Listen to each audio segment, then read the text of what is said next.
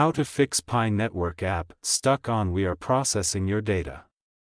We are processing your data and this can last a while.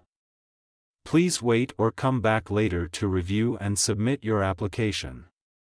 Problem Step by Step Detailed Solution. Method 1. Check your internet connection.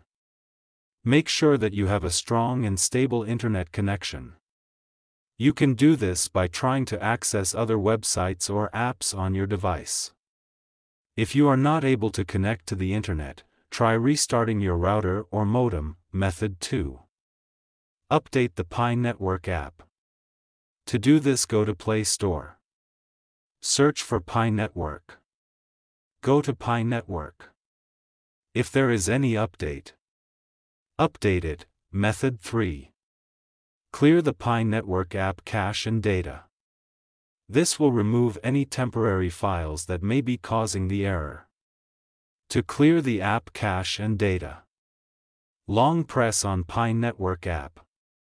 Then click on App Info. Then click on Force Stop. Then go to Storage Cache. Then click on Clear Cache. Then click on Clear Storage, Method 4.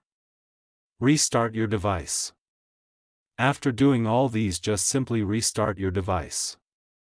And your problem will definitely be solved. If you are still having trouble with the Pi Network app, you can try contacting the Pi Network support team for help. Like the video. Subscribe to Techsore.